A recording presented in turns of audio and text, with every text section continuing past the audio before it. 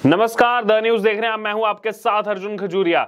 एक तरफ़ जहाँ अनुच्छेद तीन को लेकर के लगातार सुप्रीम कोर्ट में सुनवाई चल रही है, उस तरफ़ पाकिस्तान से बड़ी खबर आ रही है। पाकिस्तान से गिलगिट बाल्टिस्तान नहीं संभल रहा है। जमकर प्रदर्शन हो रहे हैं और भारत में विलय की मांग की जा रही है। जी हाँ, पाकिस्तान अधिकृत जम्मू कश्मीर यानी कि पीओ जेके में इस समय स्थिति बेहद गंभीर हो चुकी है। यहाँ पर हज़ारों की तादाद में लोग प्रदर्शन कर रहे हैं और भारत में आने की बात कर रहे हैं। हालात ऐसे हैं कि अब सेना को मैदान में उतारना पड़ा है पाकिस्तान को।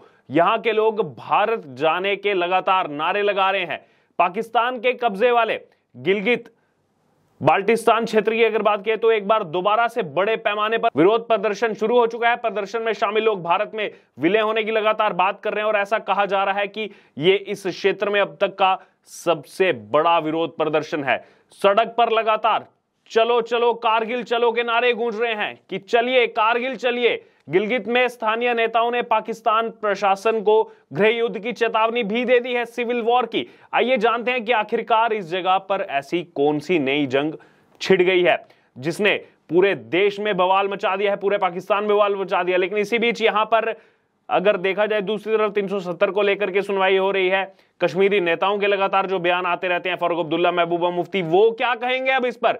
लगातार कहते रहते कश्मीर के मुद्दे पर बात करो, पाकिस्तान से बात करो, पाकिस्तान में बात करनी चाहिए। अब यहाँ पाकिस्तान के अंदर ही अगर बात की जाए तो जो गलत तरीके से जम्मू कश्मीर का हिस्सा पाकिस्तान ने कब्जाया हुआ है। वहाँ से लगातार अब विद्रोह की मांग जो है वो उठ चुकी है और काफ़ी तेज हो गई है। पिछले आठ महीने से लगातार ये विद्रोह की खबरें देखी जा रही है। 370 पर बड़ी बड़ी बातें करने वाला पाकिस्तान आज उस गिलगित बाल्टिस्तान जो उसने जान पूछ करके कब्जाया, उस क्षेत्र के लोगों को जो है यहाँ पर नहीं संभाल पा रहा है। तो कहाँ कश्मीर की बात करता है?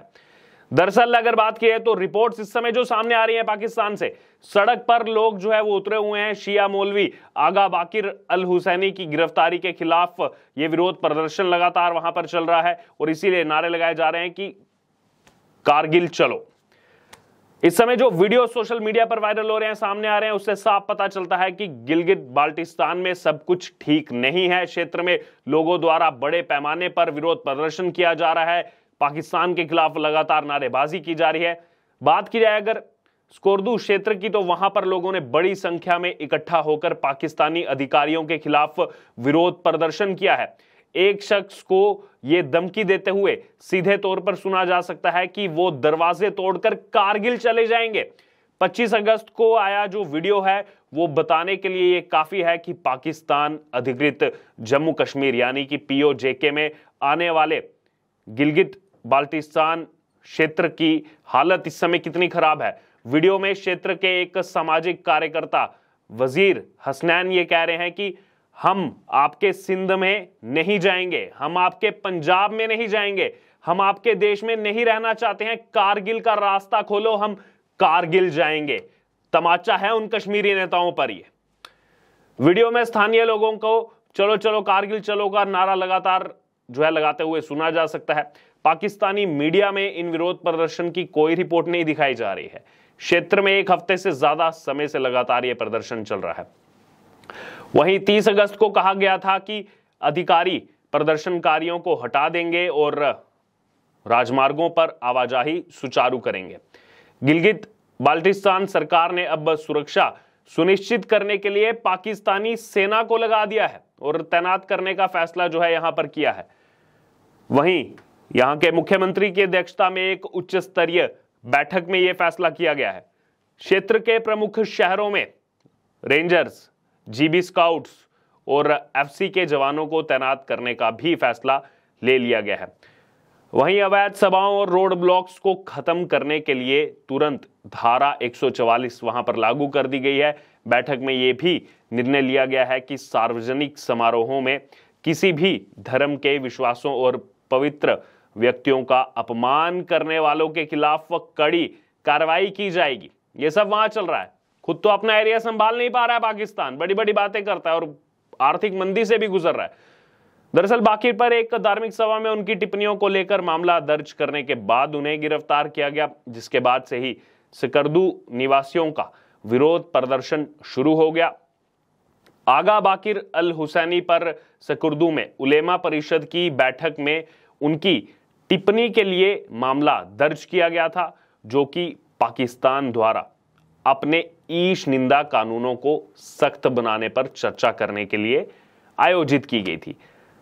ज़ाहिर तौर पर शिया समुदाय को निशाना बनाने के लिए।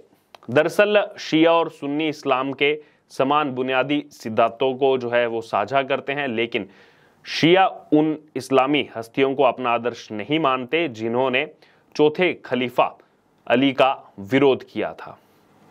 दरअसल अगर बात की है तो पाकिस्तान एक सुन्नी बहुल देश है, लेकिन गिलगित बाल्टिस्तान क्षेत्र में शियाओं की आबादी बड़ी ज़्यादा है। जनरल जियाउल हक के शासन से शुरू होकर लगातार पाकिस्तान सरकारों ने सुन्नियों को इस क्षेत्र में लाकर गिलगित बाल्टिस्तान क्षेत्र की जनसंख्यिकी संरचना को बदलने का प्रयास किया, उसको बदलने की कोशिश की, वहाँ की जो डेमोग्राफी है पॉपुलेशन के हिसाब से। गिलगित बाल्टिस्तान क्षेत्र को प्रशासनिक रूप से तीन प्रभागों में विभाजित किया गया है, बाल्टिस्तान, डायमर और गिलगित। मुख्य प्रशासनिक केंद्र गिलगित और सकुर्दू शहर है।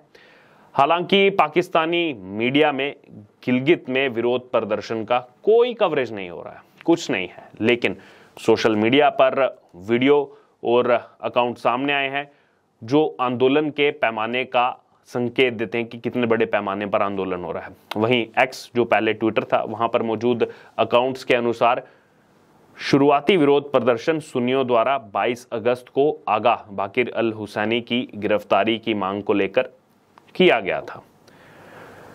विरोध प्रदर्शन डैमर में थे, जहाँ पर सुन्नी बहुसंख्यक हैं। उन विरोध प्रदर्शनों और मौलवी अल हुसैनी की गिरफ्तारी का विरोध करते हुए शिया विरोध प्रदर्शन जो है कर रहे हैं। तो आपस में विरोध प्रदर्शन हो रहा है। सिविल वॉर की बात इसलिए आ रही है, जिसके वीडियो अब जो है एक्स पर पोस्ट हो रहे हैं। प्रदर्शनकारियों को पाकिस्तान और उसके सेना प्रमुख जनरल असीम मुनीर के खिलाफ नारे लगाते हुए सीधे तौर पर सुना जा सकता है। और ये अभी पहली बार नहीं है जब ऐसी मांग उठी। है आठ महीने पहले भी ये मांग उठी थी कि कारगिल रोड खोलकर गिलगित बाल्टिस्तान को भारत के लद्दाख के कारगिल ज़िले में शामिल किया जाए। ये बहुत पहले से चला आ रहा है। और उन लोगों का उस समय कहना था कि सरकार हमारे साथ भेदभाव कर रही है, लेकिन अब गिलगिट बाल्टिस्तान को लेकर हम फैसला करेंगे। वो भी कहीं ना कहीं उसमें भी यही मामला सामने आया था। दरअसल उस समय भी पाकिस्तान की सेना जो है वो डेमोग्राफी बदलने के लिए दूसरे प्रांतों के लोगों को वहाँ पर बसा रही थी। स्थानीय लोगों का आरोप था कि पंजाब और खैबर पख्तुनखा के लोग उनकी जमीनों पर कब्जा कर रहे हैं। इन लोगों को सेना का समर्थन है, उनकी सुरक्षा के लिए सेना के जवानों की तैनाती की जा रही है वहाँ पर पीओजे के में। इसके चलते वहाँ के जो स्थानीय लोग हैं, उन्होंने ये प्रदर्शन शुरू किए और ये लोग मसले पर भारत से दखल देने की भी लगातार मांग कर रहे हैं उसी समय से।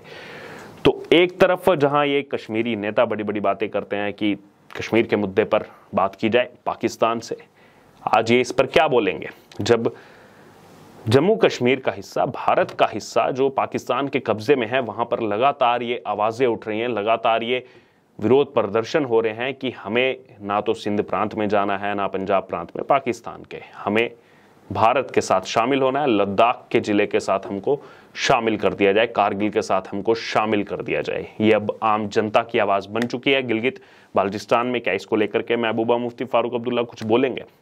370 पर बड़ी बड़ी बातें करते हैं। बहरहाल, अब क्या इस मुद्दे पर पाकिस्तान यूएन जाएगा? अभी यहाँ पर जो ये बड़ा अपडेट सामने आया, गिलगित बाल्टिस्तान से लगातार विरोध प्रदर्शन चल रहा है। चलो चलो, कारगिल चलो, और दरवाजे खोल दिए जाएँ कारगिल के लिए। हमें जो है वहीं जाना है और इस क्षेत्र को जो है भारत में शामिल कर दिया जाए। इसकी मांग लगातार स्थानीय जनता की तरफ़ से अब उठाई जा रही है। और लगातार भारत की सरकार इस समय जो है, केंद्र सरकार, एनडीए की सरकार, और उसमें सीधे तौर पर अगर बीजेपी की बात की जाए तो बहुत पहले से उनका क्लियर एजेंडा है कि पीओजेके को भी जम्मू कश्मीर में शामिल करना है। ये उन्होंने ठाना हुआ है। हालाँकि समय कब, कितना लगेगा, इस पर जब भी सवाल पूछा जाता है तो उस पर कुछ ना कुछ यहाँ पर बयान आते हैं कि वो दिन ज़रूर आएगा जब पीओजे के शामिल होगा, क्योंकि 370 के लिए भी कहा जाता था, असंभव है, नहीं होगा पॉसिबल नहीं है हटाना। वो 370 भी हटाया, अब पीओजेके को भी जम्मू कश्मीर में शामिल करेंगे। अब इस पूरे मामले पर आपकी जो भी राय हो, जो भी टिप्पणी हो, आप ज़रूर हमारे साथ शेयर करें, और इससे जुड़े तमाम अपडेट के लिए बने रहे द न्यूज़ के साथ। धन्यवाद।